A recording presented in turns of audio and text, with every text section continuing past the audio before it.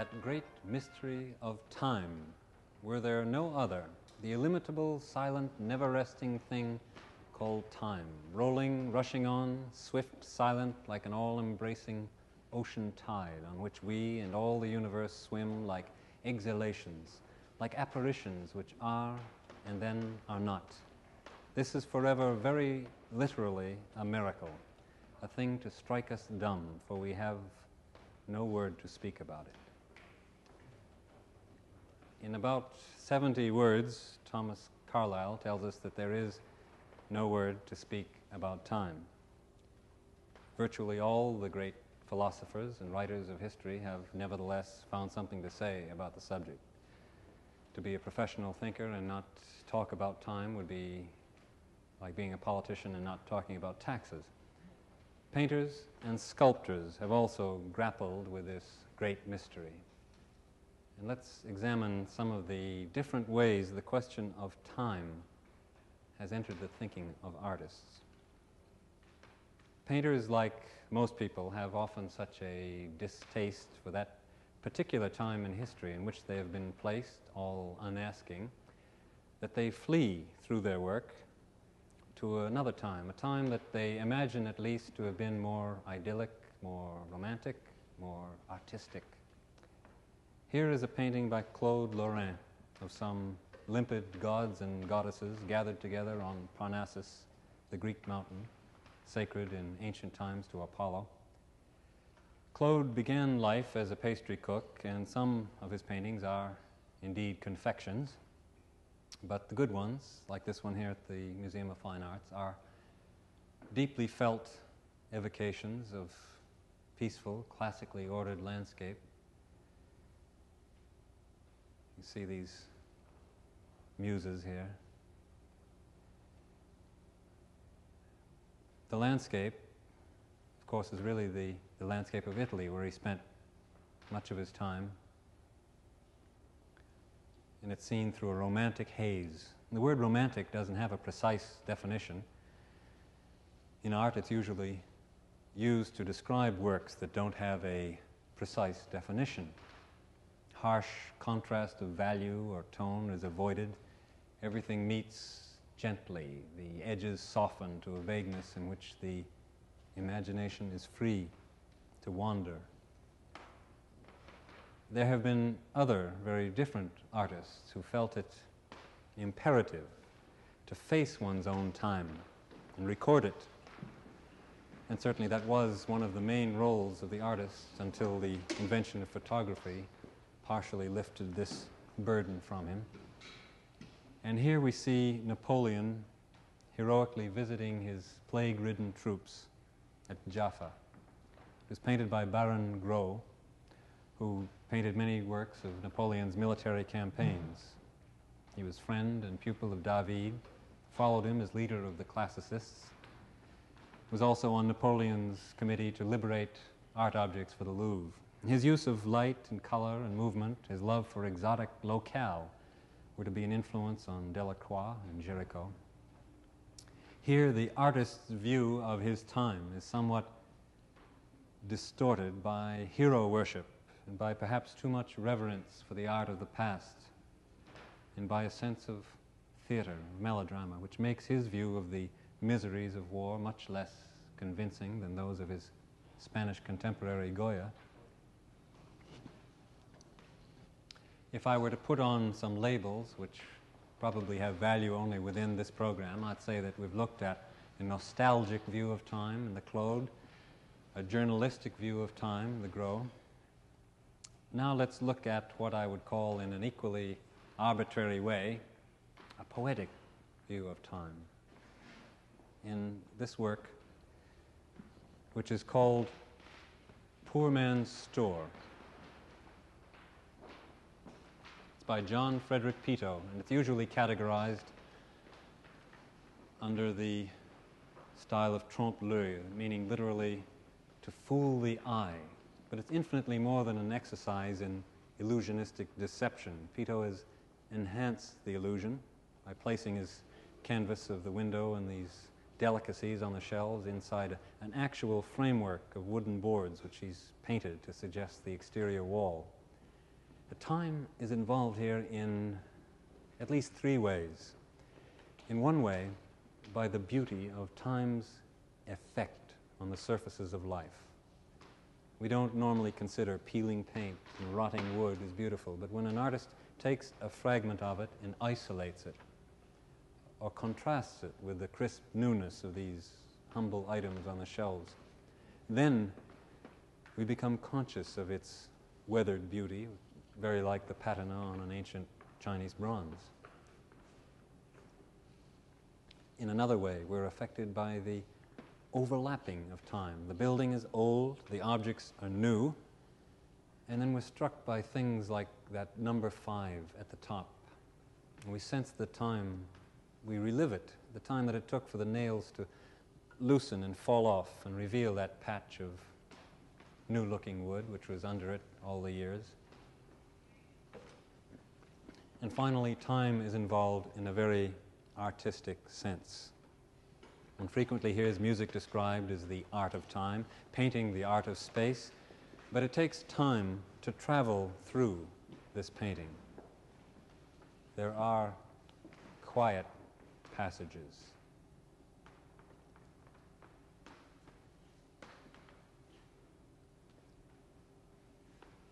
There are rhythmic passages. There is a livelier pizzicato passage. And then there are places where the forms become more complicated and takes, it takes longer for the eye to travel around.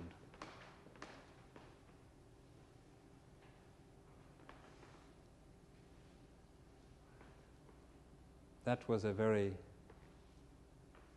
subtle, a very poetic statement about the nature of time by John Frederick Peto. Let's look now at a more self consciously philosophic comment about time in this painting by Gerard Dou, which you might say belongs to the Alas Poor Yorick school. Dou was a pupil of Rembrandt. The figure of the melancholy young lady is really a, a misunderstood Rembrandt.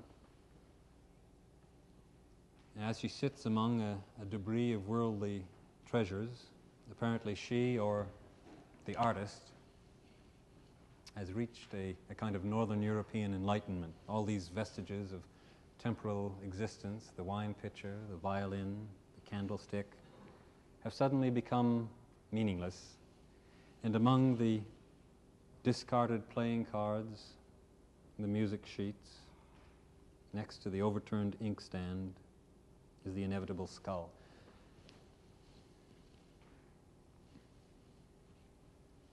Perhaps not as moving now as it was when it was painted. The interlocking of time and space in a visual way. It's of concern to the modern artist, just as it is to the, to the modern scientist. Let's look at a bit of the, at this question of time and painting, beginning with this, this work. It's difficult to believe that these flowers stayed fresh during the time it must have taken Jan van Huysum to paint them early in the 18th century. It's not just a stupid rendering of surface reality. The light radiates from this brilliant cluster.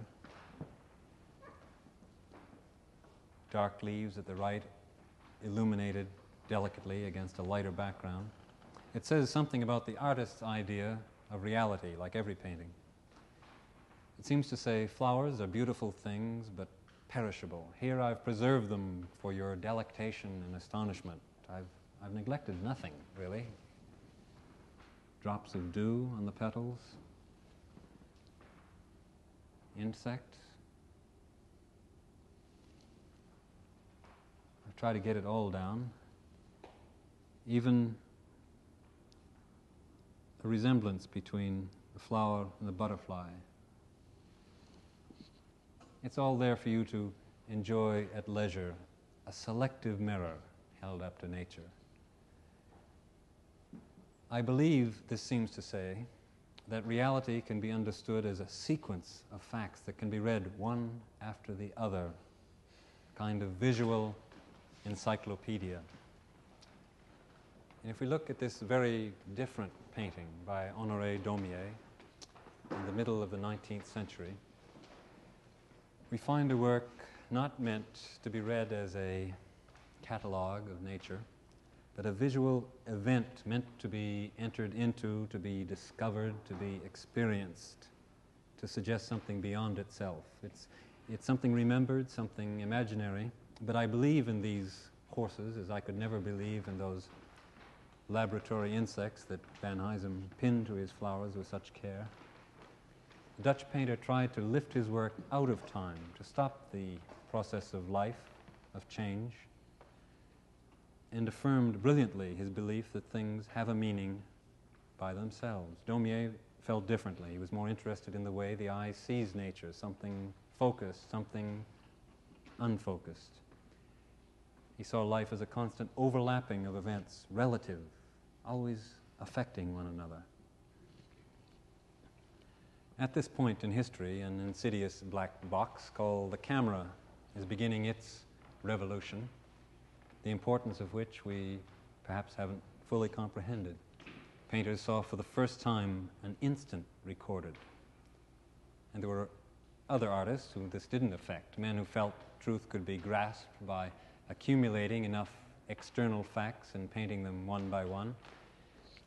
But it appealed particularly, a photograph like this, to those painters and poets who'd always felt that reality could be seen only in, in flashes, special moments when man is unguarded in relation to his fellow man, to his world. And here we see a painting by Edgar Degas. Carriages at the races. We know well by now that photographies and Japanese prints fascinated him for their ability to discover the meaningful fragment, usually cut off at the edge, half silhouetted. Early photography didn't catch subtle halftones, and painters were attracted by that look of something seen quickly in passing. This is painting that evokes the passage of time. They will leave soon, not knowing how beautiful they all were for, for just an instant. And we, of course, have other things to do. There's more poetry than, than science in the attempt of the Impressionists to seize reality by dividing it into its component colors, exaggerating their freshness, exaggerating the sunlight. Claude Monet sat in front of this haystack for hours, for days, painting different versions of it, seeking the changing nuances of light and color at different hours. The utter simplicity, the humbleness of the object reminds us that the real subject of a painting is never a tree or a village or a face, but what happens between external reality and the mind of the artist. One of the shortest, shortest lived but most heroic of modern isms was called Futurism, based primarily in Italy. In 1910, no respectable art movement or even a restaurant could open without a manifesto and I'd like to read a few things from the Futurist Manifesto written by Umberto Boccioni.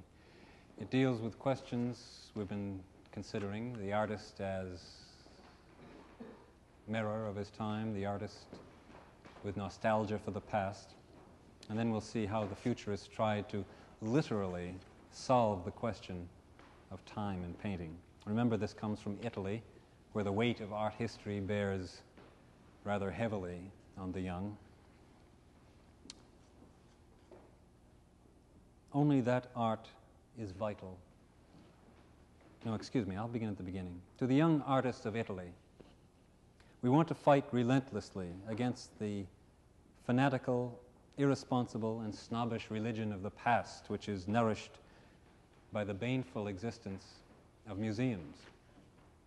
We rebel against the groveling admiration for old canvases, old statues, old objects, and against the enthusiasm for everything moth eaten, dirty, time worn, and we regard as unjust and criminal the usual disdain for everything young, new, and pulsating with life. Only that art is vital, which finds its elements in the surrounding environment.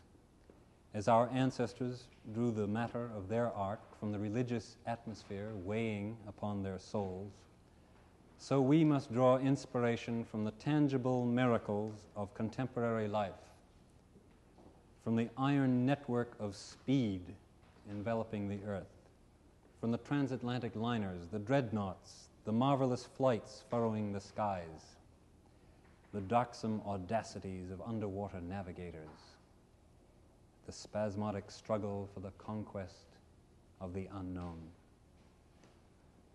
Here are our peremptory conclusions.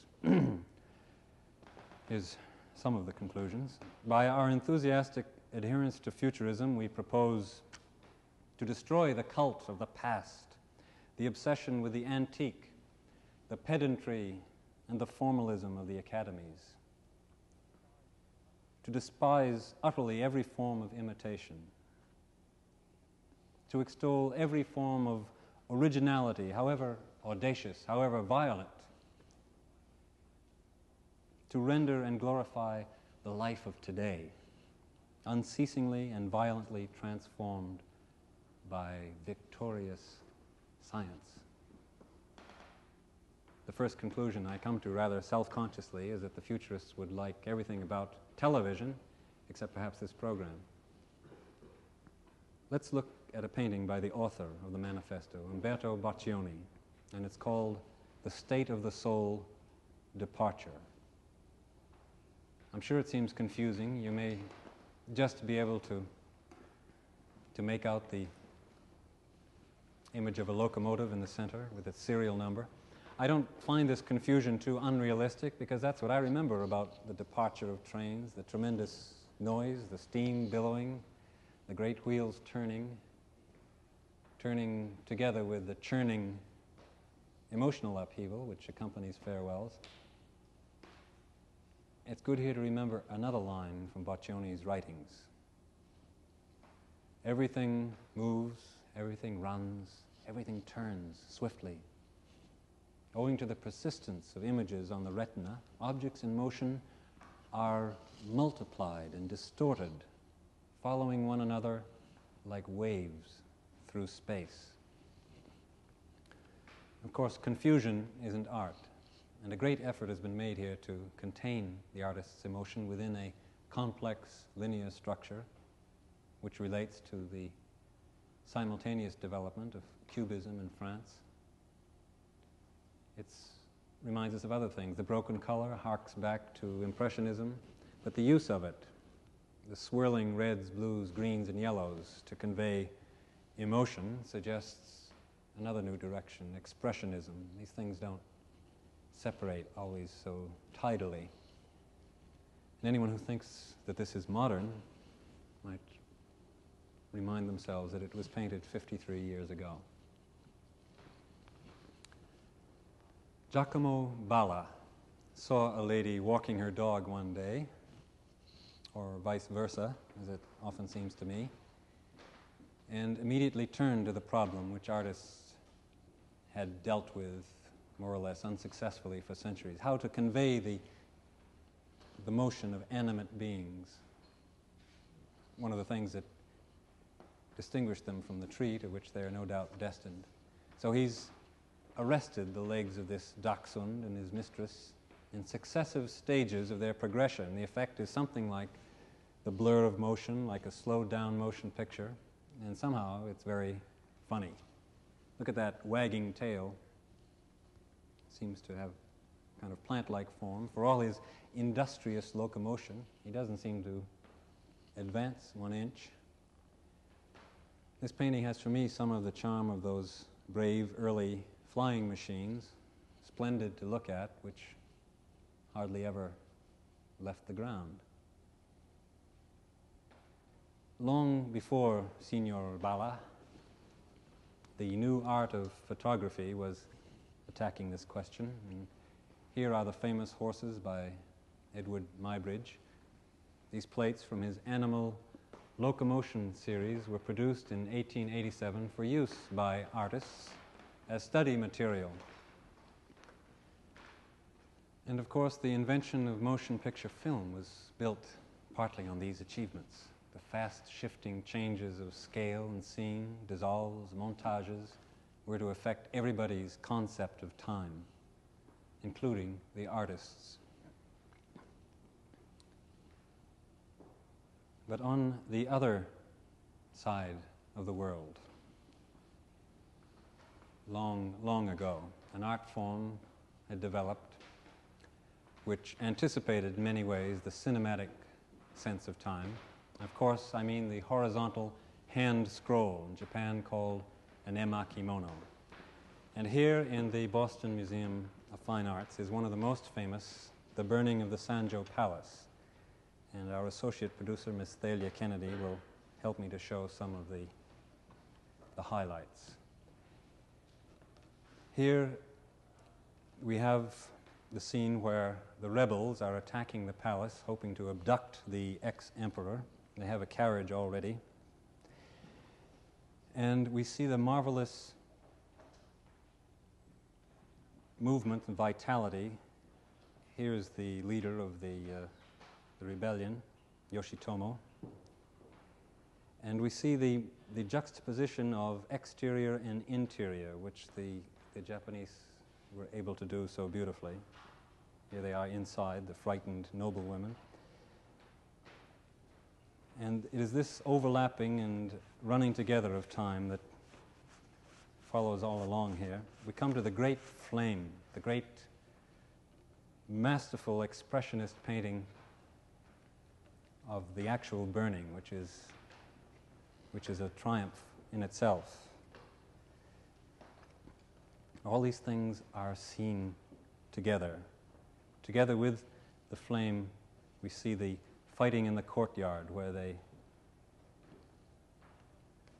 the rebels cut down these fleeing noblemen and their, their court ladies.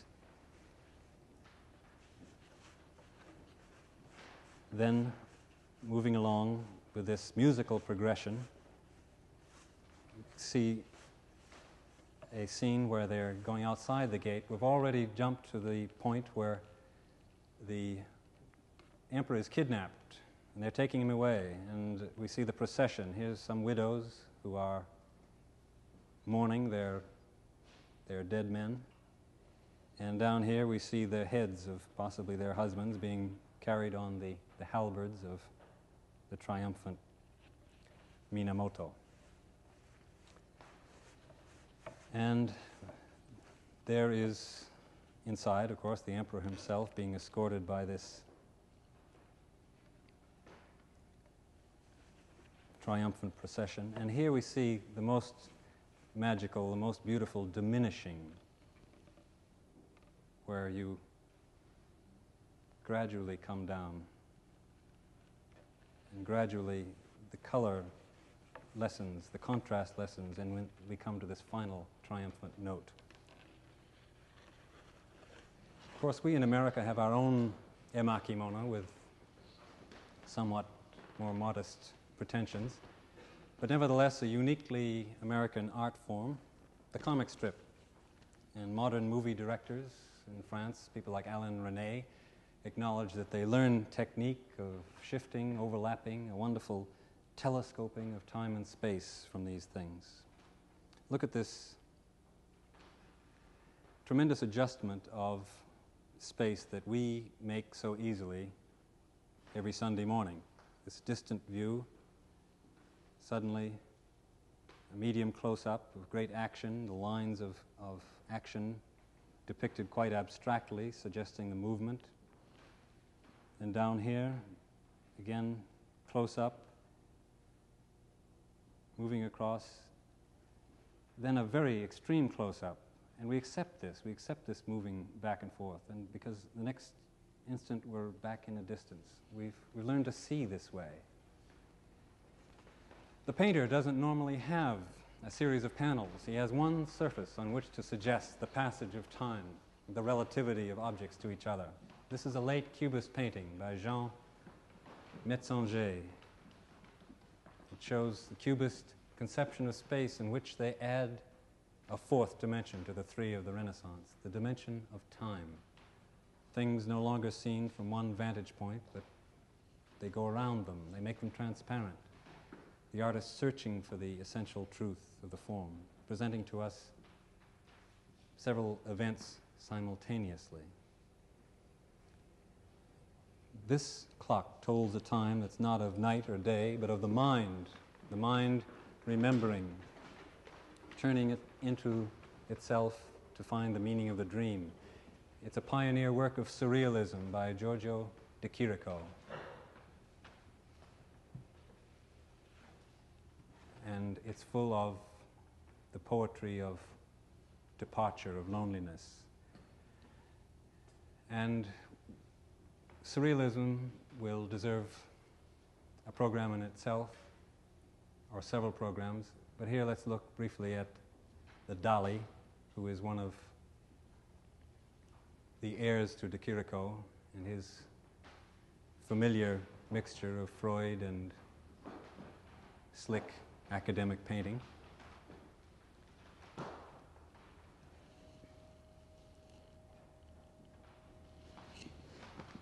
I don't think the surrealists ever succeeded in separating the different processes of thought which they hope to.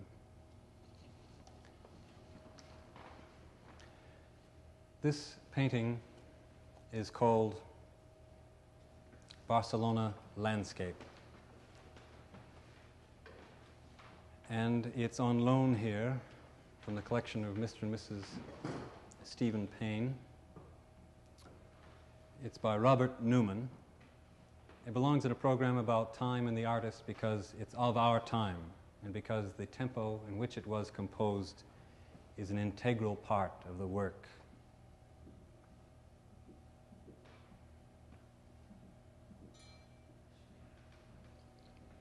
And of course, one artist who made time his subject magnificently is Alexander Calder.